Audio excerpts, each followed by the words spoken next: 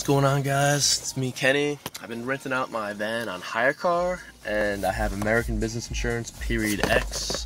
So I just got it back from renting out so I gotta put this guy in it and what this basically is is just a locator chip. Um, looks like this and I'm just gonna install it real quick so in case it gets stolen they can find it and so they can also track the mileage. So yeah, be right back, show you where we are at. Alright, so this is my Honda Odyssey that I rent out on HyreCar. Um, I got it back and um, I'll probably give it a little car wash real quick. But um, I gotta install this guy, and yeah, that's about it. Looks like it's in same quality I gave it to him in, except for you know a little dirty just from you know being in the city, but that's fine. Alright, so I want to refill the windshield wiper fluid. It did not need that because he didn't use any at all, I guess. Yeah, he left his little tree in here. And, you know, I found where the OBD port goes, so that's right here. A little bit hard to find at first, but that's where it goes. Um, he left a couple napkins in here, but the same guy's gonna rent it out. So I'm not too worried about that. This is from the oil change that my uh, my friend, because I had paid my friend to get the oil change done for me. He probably left that in there. That's fine. I'll leave that there. And um, yeah, I'll make another video in a little bit.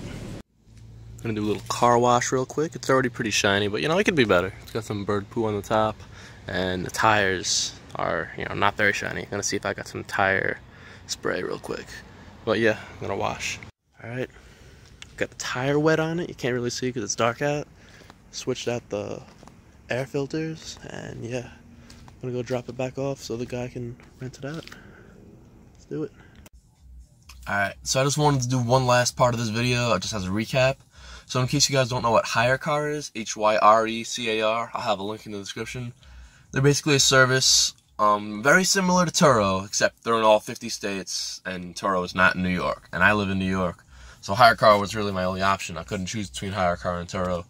But something interesting about HyreCar is their their niche is, you know, uh, rideshare drivers, like Uber and Lyft drivers, and people who drive for Postmates, and any kind of those kind of, you know, people who get paid for their driving.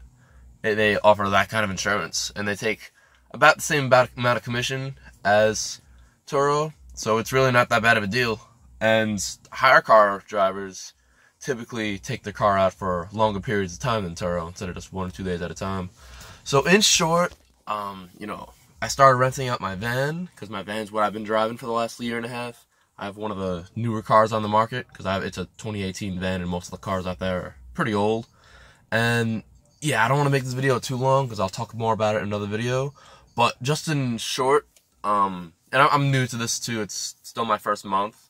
But the reason I had to start renting out my van is because I owned it for a year. I already ate all the depreciation. I could have sold it, but if I sold it, I would have probably lost money. And um, I wanted to buy a Tesla, so I bought a Tesla Model 3, and essentially I'm financing it with the money I'm making, or I'm offsetting the cost of ownership with um, the money I'm making from HyreCar. So, and again, this is just the first month. Um, we're gonna have to do it for a couple months to see how consistent this could be.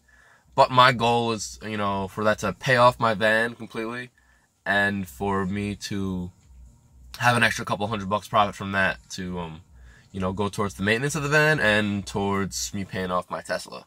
My Tesla costs a lot more than my van, but I am not giving this thing up now.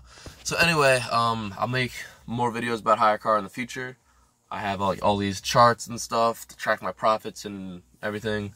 In summary, what I did in this video is I, you know, took back the car. We got an oil change done, which needed to get done.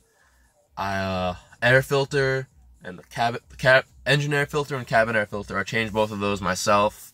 Saved a lot of money there, and it was extremely easy. I'm gonna make a video about that because I couldn't find any videos from for our 2019 Honda Odyssey. Even though, or actually, I think I did find one, which is how I did it. But I'm gonna make a video on how to do that for both next time I need it changed. Probably not for a long time though. And yeah, then I sub I the main reason I wanted to make the video was to show where to put that little chip because it took me a while to find it. And once I found it, I'm like, okay, this is where everyone else should know to put it. And that chip, it both tracks the mileage and the location of the vehicle because I with the insurance I have, I can only drive 150 miles a month myself, but it's very cheap insurance, and you know that's all I'm really going to be driving anyway because it's hopefully going to be rented out as much as seemingly possible. And yeah, American Business Insurance is partnered with HyreCar, so they know when it's in my ownership and they know when it's rented out. So yeah, it's a really great system and it saves me money on insurance. So yep, that's all I got, guys. Uh, any questions? leave them in the comment section. Uh, if you want more videos like this, let me know. Any specific videos you want, let me know. I definitely am gonna make more videos about about HyreCar though and my progress. All right, guys. Thanks for watching. Appreciate your support.